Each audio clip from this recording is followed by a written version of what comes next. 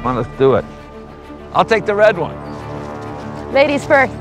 Oh, playing the woman card.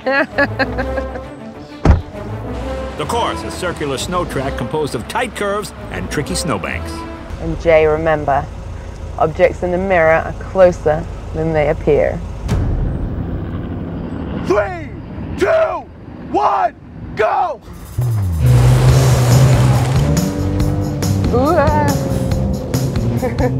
I should be in my mother's 64 Falcon to make this fair. Believe me, this is nothing like the Moolah's parking lot. Yo!